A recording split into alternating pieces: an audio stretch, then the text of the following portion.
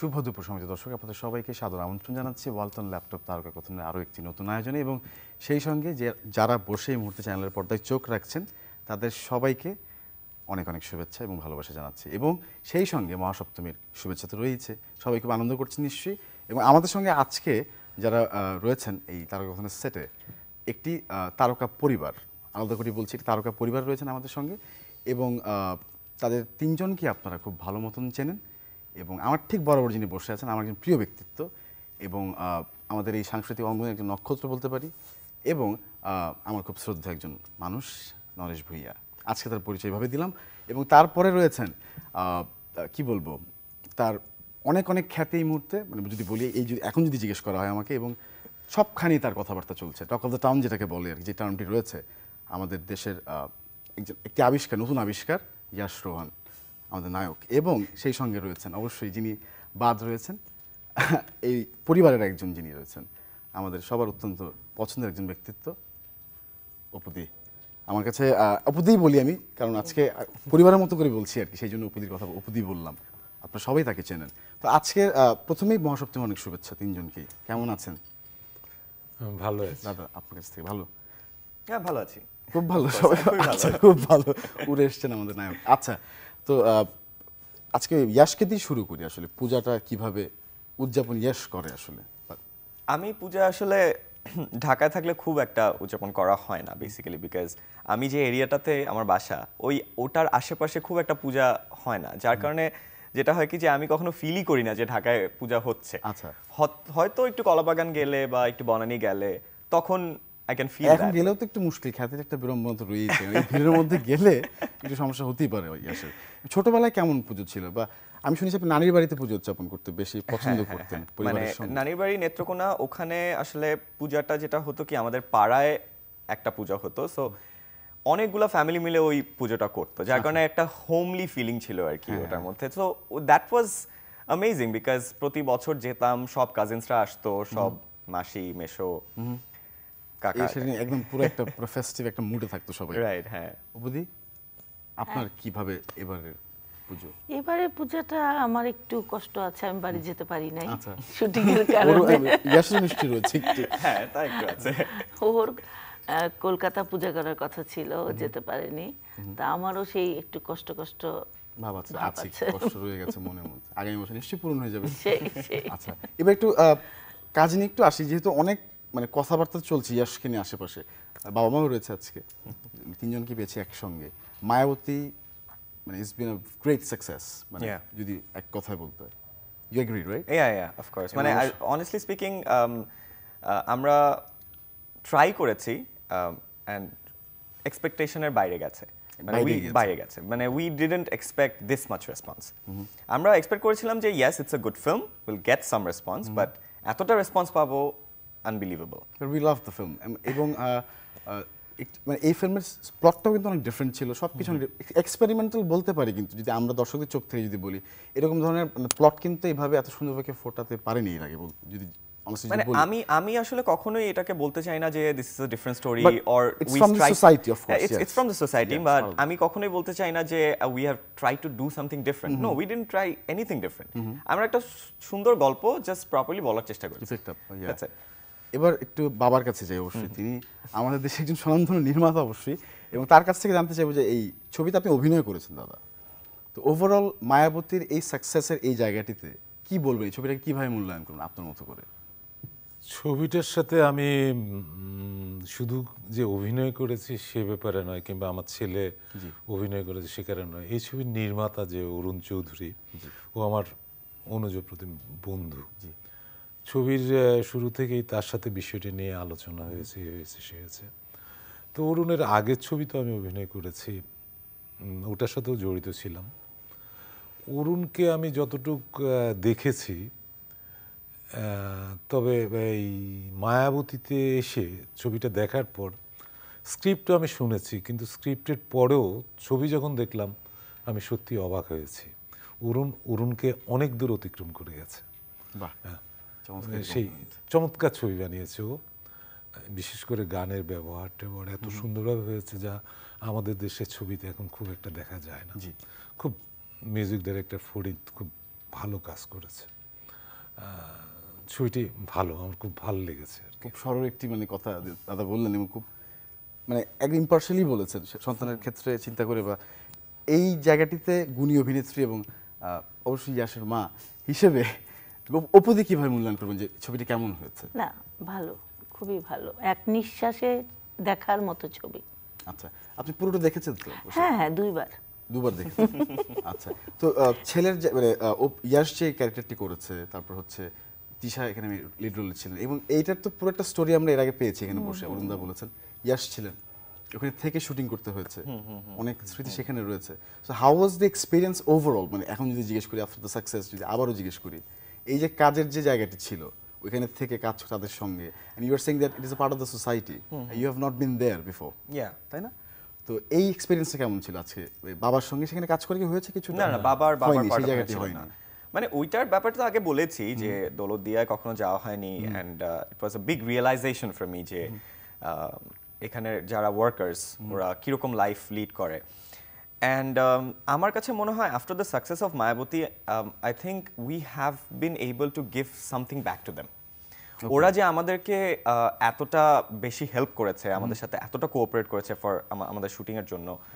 So সিনেমার সাকসেসটা it's dedicated to them তাদের কন্ট্রিবিউশন রয়েছে সেখানে। অফ কোর্স অফ কোর্স সেখানে থেকে যেহেতু কাজ করা হয়েছে এবং আরেকটা বিষয় হচ্ছে যে সাপলুডু রিসেন্টলি রিলিজ হলো।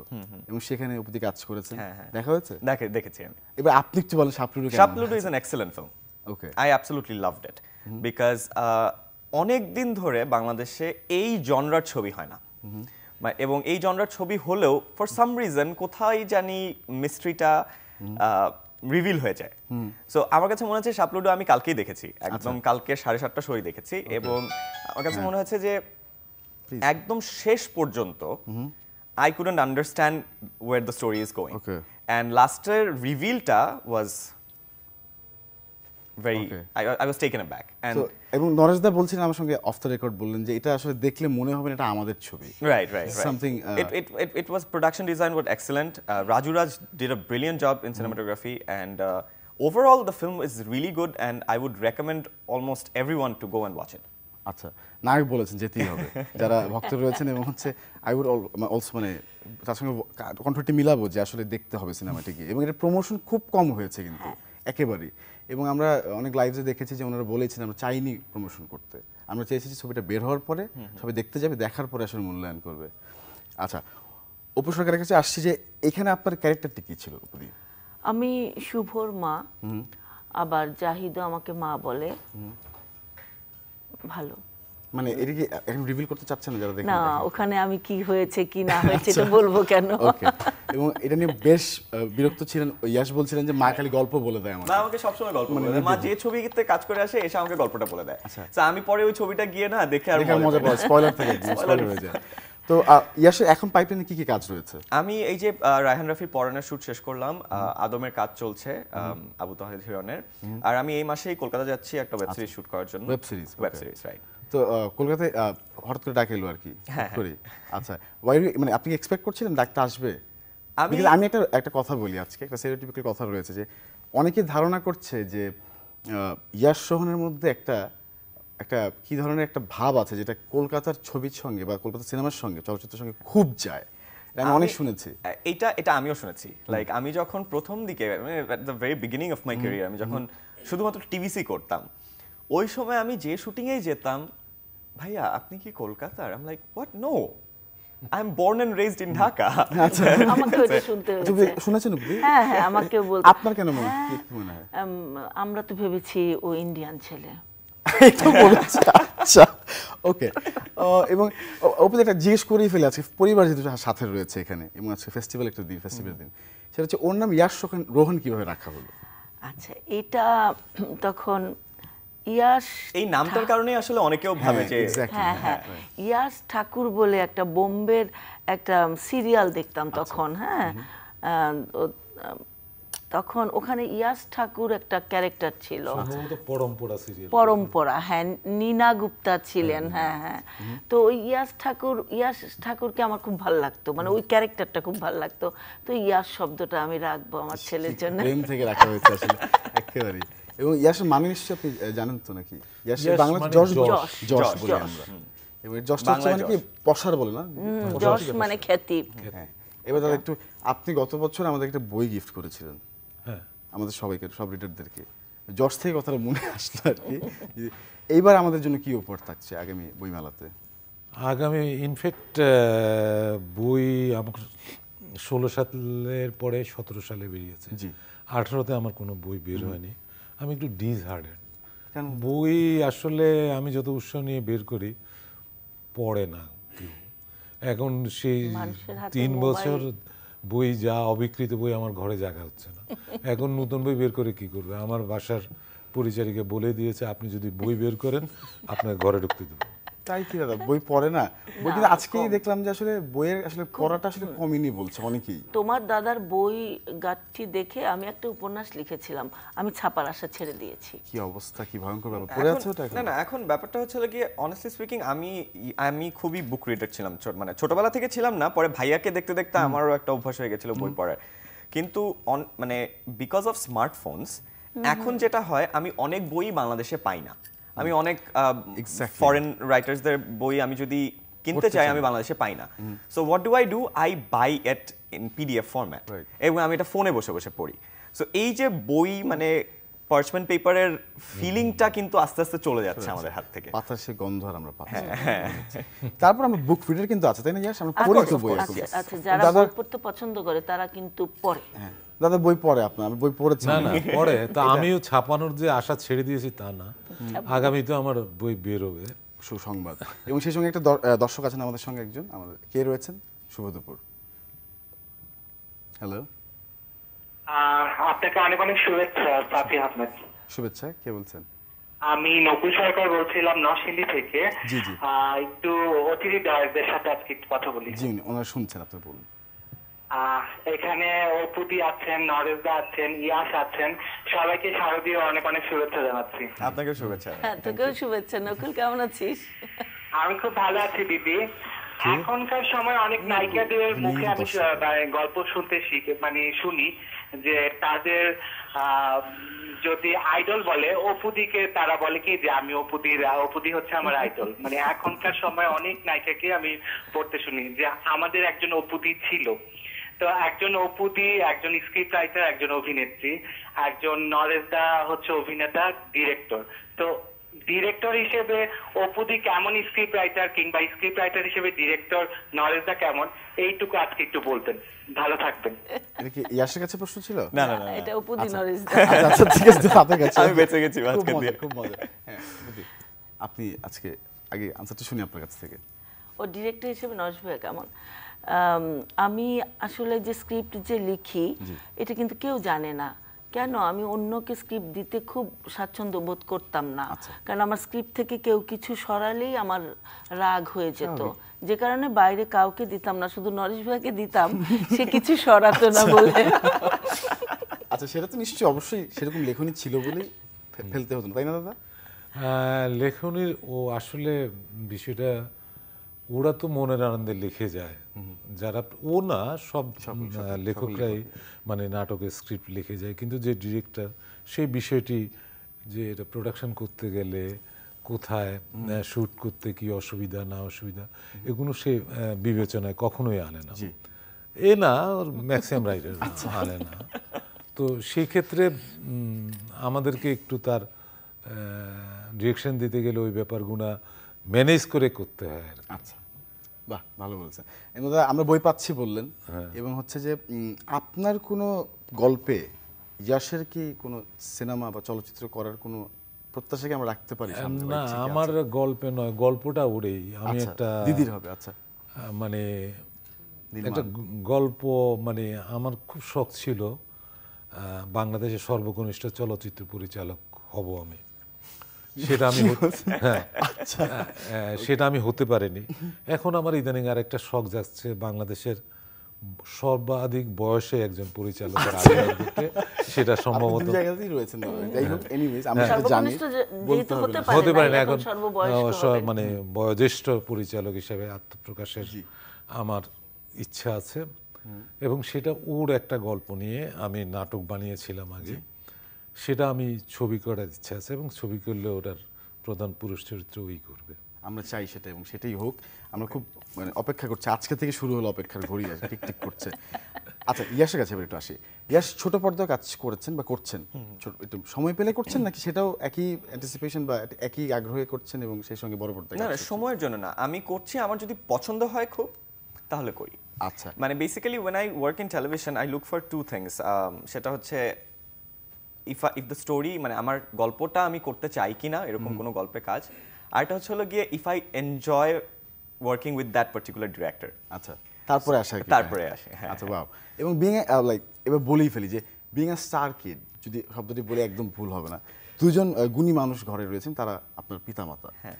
তাদের কাছ থেকে তাদের সাথে তাদের মানে যদি বলি প্যারেন্টিংয়ের মধ্যে বড় হওয়াতে প্লাস পয়েন্টসগুলো কী কী হয়েছে কাজ করার ক্ষেত্রে?